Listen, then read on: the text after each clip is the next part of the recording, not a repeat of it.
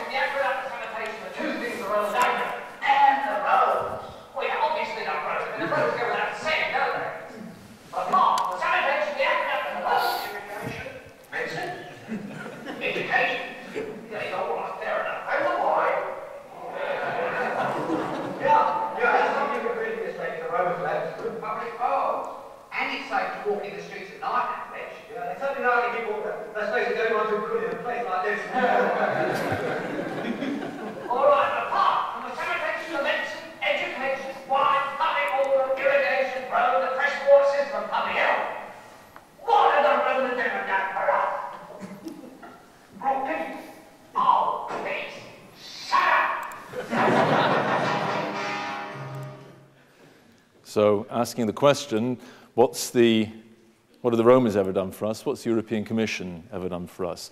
What I want to do is to take you on my, my personal journey and to look at the, the ways in which I became involved in European funding, to talk a bit about the benefits of research collaboration, um, uh, both for this institution, uh, for UK HE and for UK businesses, and also for individuals as well, because there are I believe, some substantial um, benefits to that. And also, I want to look a little bit about what the European Commission hasn't done. And I'll be exploring uh, Euromyths a little bit uh, later on. Now, it's almost inevitable that I will lapse at some point in time into Eurospeak. It's one of those things that happens to you when you get involved in European funding. You end up uh, talking in a, an argo that no one really understands, uh, which, which is not very good for transparency because you've got DG Agri and DG SANCO and the MFF and the EACA and all these uh, different sorts of things just for starters. But I'll try and limit my glossary to these three. And EC, European Commission, uh, DG Research, the Directorate General for Research and Innovation as it now is, and FP, which is Framework Programme, or the Framework Programme for Research and Technological uh, Development. Uh, Directorate General is just for information, just ministries effectively within uh, the European Commission. And some of them have some really interesting acronyms and abbreviations to their names, but I'll be talking about acronyms a little bit later on because every project has to have one. So what's the European Commission done for me uh, personally? Well, it's enabled me to undertake a lot of personal research uh, in, in two main areas. First of all, in uh, food safety and legislation, uh, and secondly into post-harvest technology. And it took my research in directions I probably wouldn't have gone uh, if it hadn't been for the work I was doing, uh, which is supported in part, at least, by the European uh, Commission. This also enabled me to develop research and professional networks, so important uh, in, in, in sourcing European funding and just making the whole life of a researcher that much more pleasant. And lastly, it led to me having a change of career through a series of unintended consequences and perhaps even uh, providence. So how did it happen uh, for me? Well, it wasn't really linear. It wasn't really uh, straightforward. Life is a bit like spaghetti. I think uh, Alan Dix said that it is inaugural a couple of weeks ago. What I'll try and do is excise the basic elements so I can provide a bit of a narrative, a bit of story for you, which is more like uh, Charles Dickens than Chuck Palahniuk. And I suppose the easiest way to portray it is through a progression from mobility uh, through to larger projects. Mobility to smaller projects to larger projects. Uh, and one of these larger projects was actually a springboard for my change in direction in, in my career, if, if one can call it that. Uh, and that kind of progression from starting small uh, and little taking stepping stones to smaller projects to larger projects is something I try to commend to others embarking on their own personal journey. I can't go without mentioning my wallet and the, the second part of the title, which is Travels with and Without Euros. The last two uh, meetings I've attended re relating to European Commission business uh, has, have been in Turkey, and it's the first time I've used a currency other than euros for, well, 10 years. Um, and that wasn't always like that. Um, before that time, I was dealing in pesetas, marks, francs, French and Belgian, uh, rubles, although there still are rubles, aren't there? Um, escudos, a range of different currencies. Um, and then, after 2002, the euro became adopted by most countries. Um, to me, it seemed that the, the, the changing currency was symbolic of the of, of breaking down of boundaries, really, because you can travel across Europe with a wallet full of euros, whereas before you need to stop at a, a customs point, change your money, and do all these kinds of things. And it seems to be a kind of a metaphor for, uh, for the boundaries which existed in Europe at that time. And now, in, in a sense, in the way Alan Dix described, boundaries become thresholds. And we're standing on the threshold of the opportunities presented by a Europe, where there is opportunities for exchange of goods and people, but also ideas and concepts. Uh, at one time, I traveled, just to give you an idea of uh, how big my wallet had to be, I would travel from Estonia to Bulgaria to Romania and, and Moldova, all in one, one trip. And at one time, at that time, about 500 levs to the pound. Uh, and so it gives you an idea of the, of the, of the, the problems associated with that. So a, a currency, and I'm not saying that the euro and the eurozone is without its problems, but certainly for someone that, that, that favours a small wallet, it's been indeed a benefit. Okay. okay, now to me. I want to talk about two aspects of mobility. First of all, outgoing mobility, uh, and I was funded to travel around Europe uh, quite a bit by the good old uh, Erasmus scheme, which is still operating. Um, and I went to lots of different interesting places, um, two of which were uh, Germany, went to Lippe, which is quite near to the home of the Pied Piper of Hamelin, so that was interesting, uh, and to Barcelona, which is the home of Spanish football and, and Gaudi, of course. Those opportunities enable me to develop a lot of contacts, to think about how, how research was done in, in other, other institutions. And that was a really, really very useful thing. Uh, Euripides said, experience and travel, these are an, are an education in themselves. But one thing I want to mention as well is incoming mobility is bringing people in from other countries, other uh, staff and students, into our own university because there are huge benefits in that. This is a kind of, if you like, indirect mobility. You get the benefits of it, you don't have to move anywhere. And you, you experience other people's cultures, other people's ideas, and the enriching that that brings to, uh, to the culture and educational environment of uh, an organisation. And this incoming mobility led to a number of other opportunities for networking and contacts, which led me to my first, really my first small projects in two areas, one funded by uh, British, both funded by British Council, one under the Acciones Integradas scheme and one under Treaty Windsor. really great programs. I mean, British Council's input into uh, mobility has declined as Erasmus has increased, but nothing's really replaced these programs, I don't think, to enable you to do little pilot projects to prepare you for bigger projects, which you could then submit for subsequent funding. So these small projects in safe, food safety and, and post-harvest technology uh, provided me with a springboard to my larger project. And I have to be honest, uh, that springboard took me to uh, places I hadn't imagined I'd ever go. First of all, for funding. Uh, I didn't ever think I'd go to the Foreign and Commonwealth Office for funding, I have to say, although I did go there subsequently, actually, as it happened. And also where it took me. It took me to Estonia and Kaliningrad. Now, I have to admit, I had to look up where Kaliningrad was on, on, on the map. When I realized it was uh, Königsberg, I immediately recognized it was where Immanuel Kant did a lot of his work. Um, and, uh, and that was something which was very useful um, to be able to spend time in two different countries, at that time the former Soviet Union, looking at food safety, and legislation. One thing I learned about those interactions was uh, that the gestation period between meeting a team of people and uh, developing a project can be quite long. It took 10 years before Professor Raivo Vokk from Tallinn Technical University involved me in a project. It's been another five years since I've been able to involve him in a project which we've submitted through the Food Industry Centre. Uh, things don't happen overnight if they're to be sustainable, probably.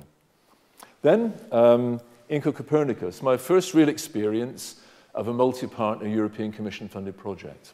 Uh, INCO is another acronym, I explain, International Cooperation, and Copernicus standing, uh, well, is the name of the famous um, Polish mathematician and, and astronomer, and at the time considered to be a, a heretic.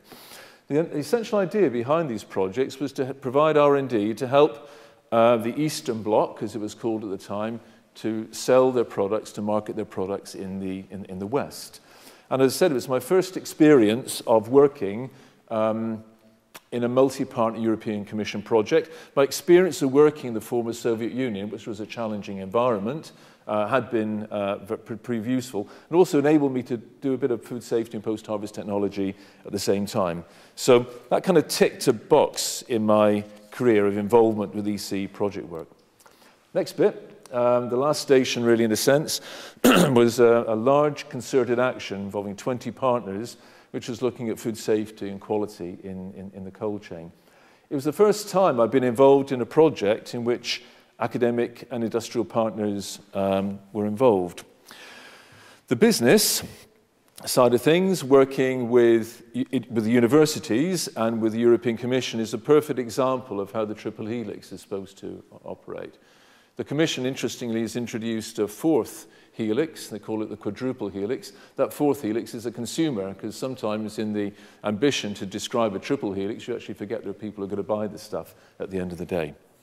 So the, I have to say the European Commission has never really been afraid of um, trying projects which involved industry and academia together at a time when the research councils would have probably thought it was a bit uh, peculiar. And this particular um, activity led on to another phase in, in my career. But first of all, I just want to mention very, very briefly what seemed to me to be three connecting strands, which may be something which is helpful to others and identifiable for research groups, identifiable for universities and even member states as they look at different sources of funding. So I had uh, the research topics, partners, networks, and experience of how European funding works as a practitioner. And this maps onto the, the knowings of EB et al., behavioral, American behavioral psychologists, who consider in order to have a kind of uh, perfectly formed direction of travel in terms of research and other activities, to be a portfolio person, to live in a, in, in a boundaryless career age, an era of boundaryless careers, you need to know how and what, you need to know who, and you need to know uh, why. And in a sense, I suppose they've been a kind of unsuspecting paradigm for American behavioral psychologists, not really realized it. Um, we've all heard of a triple helix. I've mentioned it already. Um, 1994, Leydesdorff and Van. This is, in a sense, uh, my triple helix, and I think it's one which is applicable to other organizations and other people. If you look at the way it developed, that's kind of life as spaghetti, but it probably makes more sense if we look at that particular aspect of my, my, my journey. With the subject area being continuous, partnerships developing, and experience developing and growing in different ways. But I have to uh, mention, it wasn't, didn't happen in a, in a vacuum. I did have other funded research and industrial research taking place. But this is a journey that happened for me. The next phase was building on partnerships and the subject area I was involved in when I was approached by, um, by a European Commission official to get involved as an evaluator uh, and a reviewer and also more recently as a member of expert panels. And that added experience, that change in direction, I, I hope, has helped me to help other people in uh, applying for and sourcing European funding. And these are some of the nice places I've been to. Um, but, but let's talk about other people, not just, just me. You just come to hear, hear me talk about me. Uh, let's think about the benefits for ourselves as a university, uh, for the UK in general, the HE sector, and also for Joe uh, Public, uh, with or without uh, an E, if you want to make it sort of completely um, neutral. If we look at what's happened in Cardiff Metropolitan University, this is a snapshot of what's happened uh, over the last uh, five years. Uh, and I think the important thing to say is there's been a great and positive direction of travel as far as European projects is concerned. All schools and centres have had some involvement in that kind of activity. Um, more partnerships have developed, 200 new partnerships have developed, and uh, 40 members of staff have been involved in these projects, which I think is, is great, not down to me, it's down to the people that are involved in these kinds, kinds of things. I think if we look at that kind of triple helix thing I was talking about, centres having involvement are using their knowledge, but also developing uh, experience of working within European projects. Developing new partnerships is always bound to be beneficial. If you get, even if you don't get the money, that process of partnering with people is extremely useful. As I did mention before, the gestation periods can be very, very long. They're not always instantaneous. Profile is also important, and we've there's a long story behind uh, showcasing the Kite project at the European Parliament, which I can share with you afterwards. but profile raising um, with people in Brussels is extremely important. It's been a very interesting and I think useful part of my job. Uh, it enables people that, that have come with me to share an experience of Europe, to understand how the European Commission ticks from the inside. Because uh, you can read a work program until you're blue in the face, but until you talk to people there, you don't really understand exactly what they want. Okay, for the HE sector then, uh, I suppose the biggest take-home message for this is the bottom bullet point. Framework Programme 7 is really the equivalent of a small uh, to medium-sized research council uh, for, the, for the UK. Generated a huge amount of income. So important is it that Wendy Piatt, who's DG of the Russell Group, um, wrote in an open letter to the Financial Times, presumably hoping that uh, David Cameron would read it en route to, to, to Brussels during the budget negotiations. She said this, for leading universities, European funding isn't just a top-up, but a key and irreplaceable part of our research income. The benefits to the UK are clear. This research income helps create jobs, fight disease, tackle climate change, and so much more. Our politicians must champion research and innovation in Brussels, and the economic and social benefits of the world-class university system we have in the UK are well worth fighting for. And beyond that, um, the UK has benefited from other partnerships uh, uh, other than universities. That cross-border activities being so important in a global economy. Of the 5,000 odd research projects funded up to about two years ago, probably a year or two years ago, 43% of them included UK partners, far higher than a lot of other um, member states. Impacts is something which is on everyone's lips, I think, at the moment with the Research Excellence Framework. And in this survey of uh, impacts undertaken by Technopolis, uh, these are the four top ones um, for, for the HE sector. Improve relationships and networks, better understanding of new and existing areas, better reputation and image, and increased scientific capabilities. And you can see there again the, the knowledge base, the knowing the how, the what, the, the who, and the why come together in propelling forward uh, a, national research uh, program. So, what's the EC done for us in general, all of us sitting in this room, the people that live around and about? Is it possible for us to point to specific things and say, thank goodness for the joint European Torus at Culham, uh, because that fusion-powered microwave in the corner there is just the job. Um, is it possible to say that? Well, I don't think anyone would pretend it was. Uh, there isn't a straight line between research and innovation and inventions. Uh, Kline of Stanford has pointed that out since 1985. It's... Um, it has branches, it has cycles, and so on. So I think any researcher would say that an invention um, doesn't directly come from, an, an, uh, from research a little bit down the road. So very, very difficult to make that straight line relationship. But the Treaty of Amsterdam does recognize there is a relationship between research and development and, uh, and individual and collective well-being. I've talked about what are the benefits of collaborative research, and uh, you might ask why? Why do we need to collaborate? Don't um, the individual member states have their own research councils? Uh, aren't there pots of funding elsewhere? Well, of course, there are. But it's about recognizing the added value of that collaborative approach. High level research is becoming much more complex and interdisciplinary. is becoming much more costly, so there's a need to try and share those costs and needs an increasing critical uh, mass. And the European Commission has tried to uh, address those issues through a particular program we'll be mentioning a little bit later on. In taking what the member states are very, very good at, adding a bit of money and mixing it all up and coming up with some interesting and exciting ideas. If it's not possible to see the benefits on the micro scale? Is it on the macro scale? And again, Technopolis, who've been pretty busy, this, did this in 2009 with the Manchester Institute for Innovation, find that the societal benefits of international collaborative research, interestingly, prove the competitiveness of the nations involved. So you'd have thought it seems counterintuitive, but somehow na nations benefit more from that kind of collaborative approach. There's the aspect of supporting less developed countries, and I'll mention some of the projects which have done that a little later on.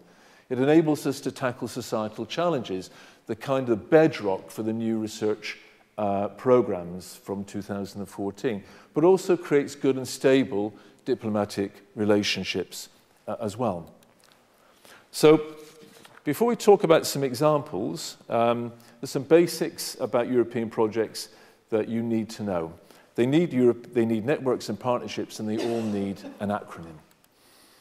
The first thing about them to mention is that networks and, uh, and partnerships provide gestalt.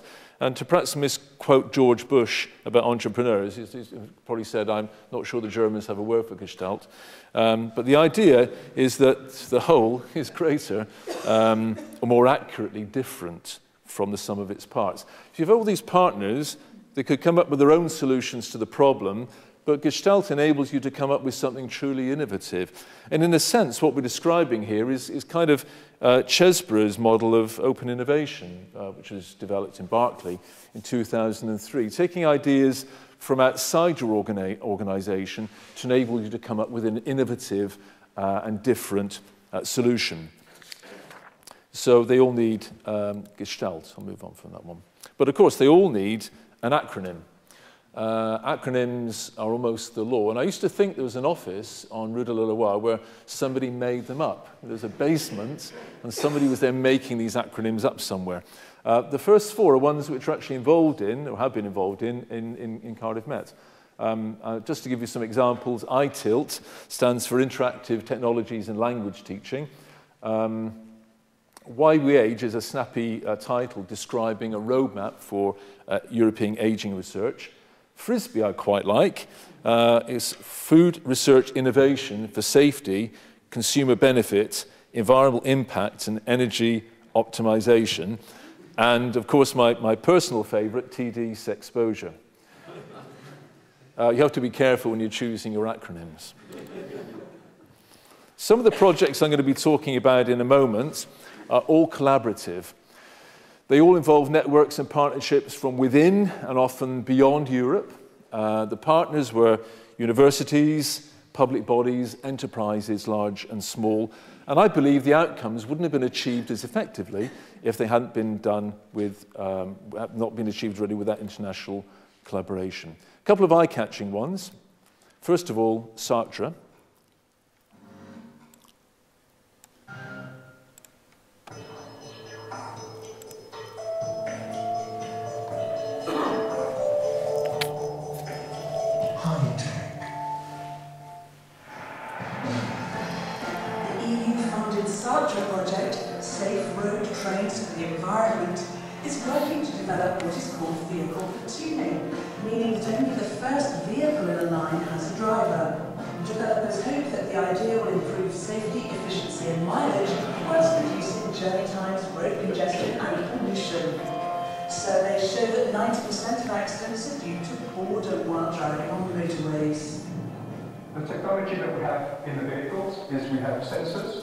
which sense the positions of the other vehicles. We have actuators which allow us to control the speed and the steering of the vehicles. And we have a communication system that shares data between the vehicles so that all the vehicles can be coordinated as one. The project leader says it's quite nice not to have to drive the car. The benefits of a road train is that uh, it's, it's fuel efficient, it's uh, safe, and uh, it's really comfortable as a driver to be able to enjoy, carry out other stuff than uh, the actual driving. I can read a magazine, I can uh, send some emails, or uh, watch a movie. Somebody want to join the road train? That's going to be one of the craziest ideas in the world, right? Seriously. Another one, just very briefly.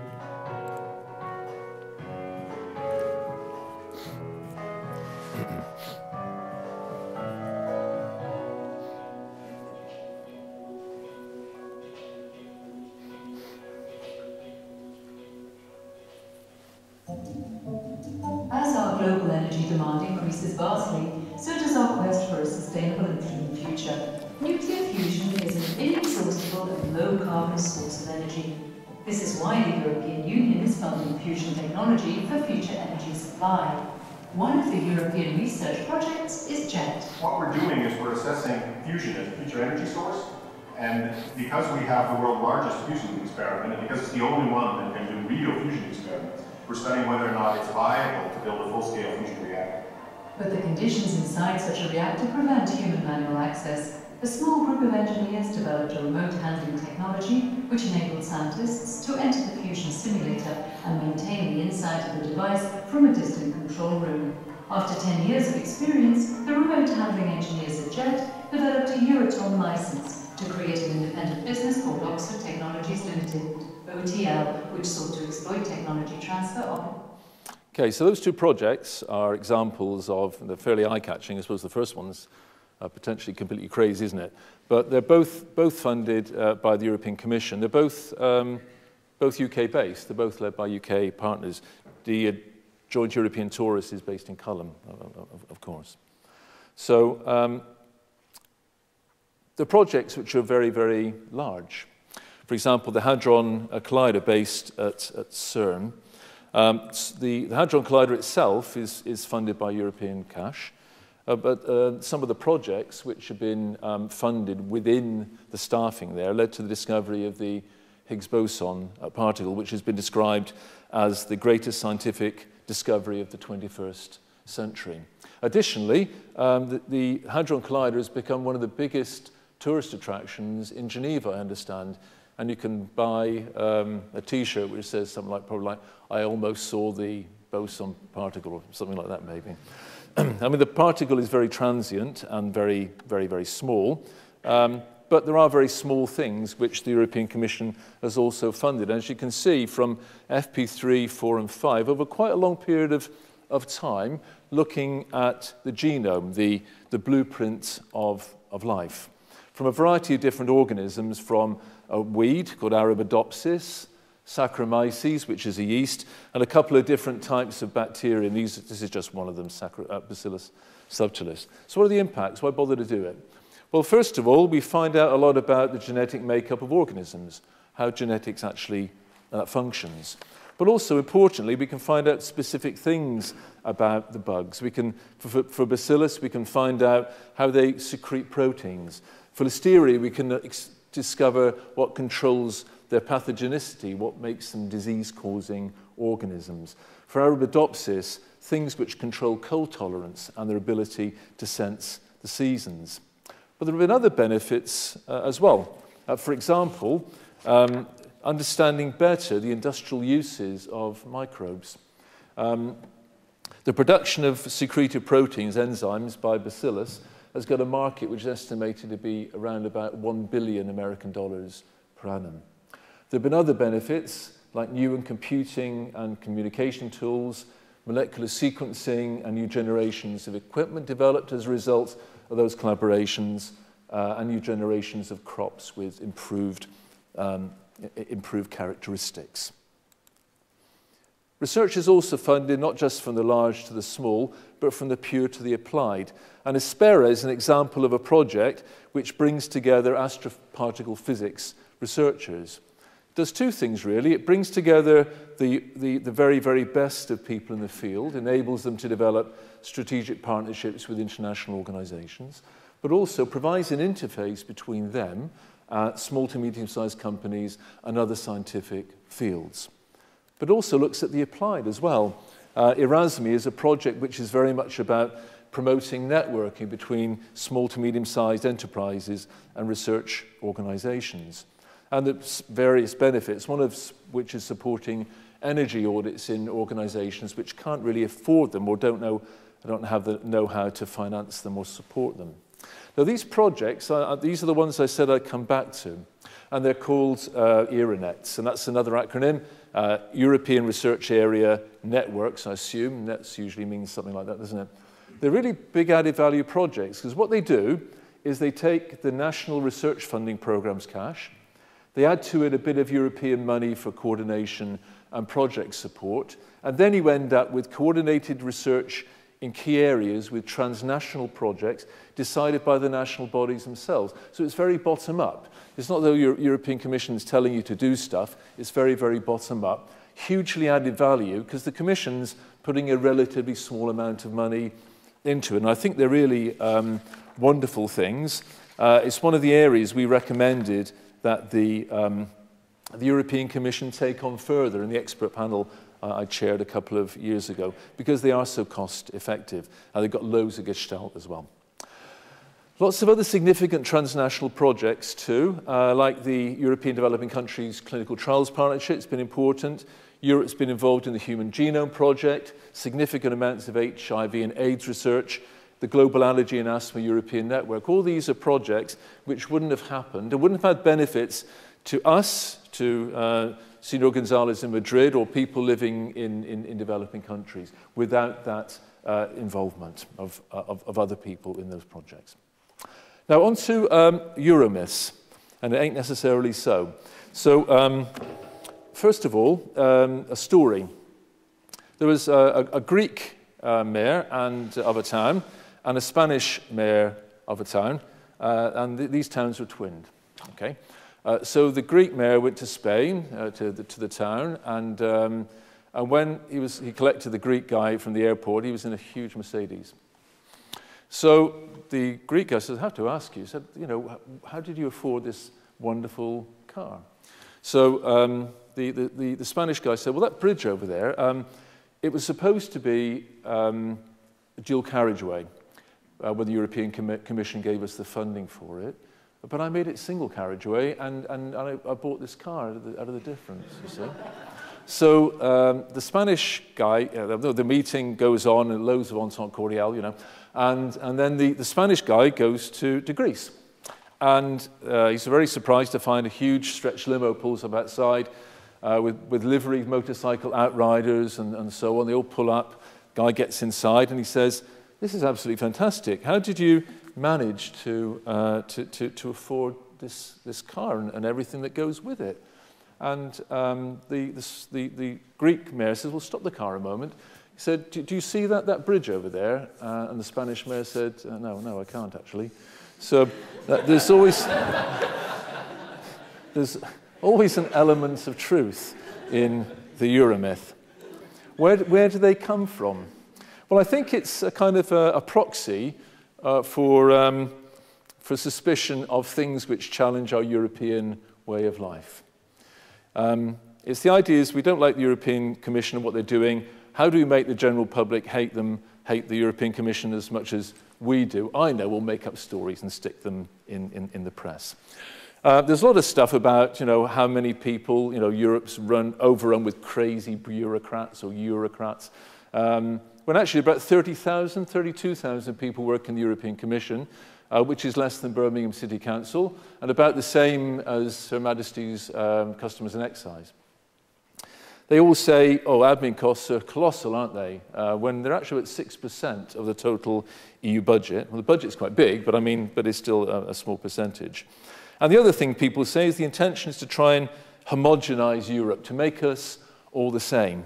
Now, I don't often quote Margaret Thatcher in a favourable way, uh, but Margaret Thatcher has said it's a myth that our membership of Europe will suffocate national tradition and culture. Are the Germans any less German for being in the community, or the French any less French? Of course, they are not. So, some of the very, very best, I won't go through these in any, uh, any, any detail, I'll just uh, select one or two. Um, if you want to uh, want me to talk a bit about the decolletage of barmaids, I'll, I'll do that uh, later on. But suffice it to say, the Sun ran a campaign about it. So it must be true, mustn't it? So, um, so we've got the decimal diktat, the straight banana, Bombay mix, Farman's poles, corgis being banned, uh, no more yogurt, the Euro sausage, liquefied corpses, and the decolletage of barmaids. Which well, the myths or not? Well, most of them are untrue. A couple of them are slightly, slightly true. The first one's slightly true because um, in, in the 60s, the, the UK government committed itself to decimalisation and metrication. They said it would happen eventually anyway. Um, and I think if you look at your children and your children's children and your children's children's children, uh, you'll see that eventually metrification will happen by default. Um, uh, kids nowadays don't know about chains and yards and furlongs, do they? They know about meters and kilometers. Uh, and so that will gradually change, I think. But there's no uh, big bad commissioner in there preventing us from drinking pints, I can assure you of, of, that. I'd have mentioned it to someone personally if they had. So uh, the other one is Farman's Poles, and I'm sure it's a relief to you all to know that Farman's Poles haven't been mentioned anywhere in European legis legislation. Um, what happened was the UK government took some aspects of European safety legislation, which the some fire services interpreted as firemen's poles being dangerous. So they will get out, they were putting their uniforms on, they will collapse and fall on top of each other. It's thought to be a bit dangerous. Uh, but it certainly wasn't anything that the European Commission uh, had, had, had, had declared had to, had to happen. Although part of the legislation, it has to be said, did come from that. I like Bombay Mix, that's quite a good one. Um, it was claimed, I think, in, I'm not sure what, it may have been the Daily Mail. Yeah, probably was the Daily Mail. that, uh, that's um, to erase our, our colonial past, Bombay Mix had to be called Mumbai Mix. Okay? And, um, and, and the story started off, was started by, um, by the Daily Telegraph correspondent in Brussels. He sold the story to, um, to a regional newspaper, who then sold it to the tabloids. And when they were asked, did they actually check whether any of it's true, um, the regional guy from the regional newspaper said, well, of course not. It was just a funny for the tabloids. So, and the other, the other one I like is Euro sausage. Um, the Euro sausage, um, they were supposed to be describing Euro sausages as emulsified meat in a transparent edible skin or something. And it's perfectly true that uh, a minister, a government minister, took on Brussels um, and, and preserving the dignity of the good old British banger, uh, and did actually become prime minister on the basis of taking Brussels on over that. The only problem was that the person's name was Jim Hacker, and it was a television series called Yes Minister. But it's reported in a lot of tabloids as being factual. So, um, very briefly, um, what's the European Commission done for us all. These are just some of the things that, that have been beneficial to us as people um, uh, in, in the UK and elsewhere as a result of the European Commission. We can travel more easily. We can live abroad if we want to. Equal pay and non-discrimination has been embodied in the Treaty of Rome since 1957. Paid leave, four weeks paid leave, is a statutory minimum. In the States, there isn't a minimum.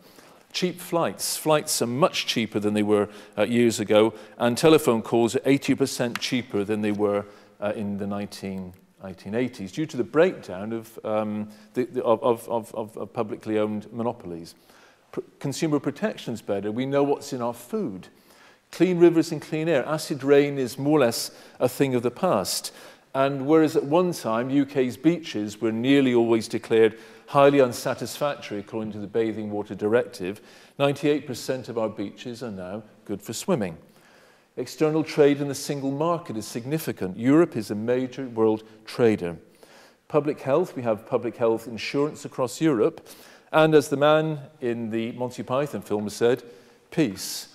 We've had 60 years of uninterrupted peace after centuries of bloodshed. 13 dictatorships have been transformed since the mid 70s. So, peace, I think, is a significant thing uh, for the uh, Commission to achieve. So, what next? Well, three programs, really very much about developing cutting edge research and innovation, ensuring competitiveness, growth, and jobs, and tackling societal challenges. But, in summary, what's the European Commission done for us? It's given us significant European research and innovation and beyond Europe as well. It's given us international relationships and collaborations, tremendous economic opportunities which would not have existed previously, tremendous social cultural benefits, and also a good selection of Euromyths. Thank you.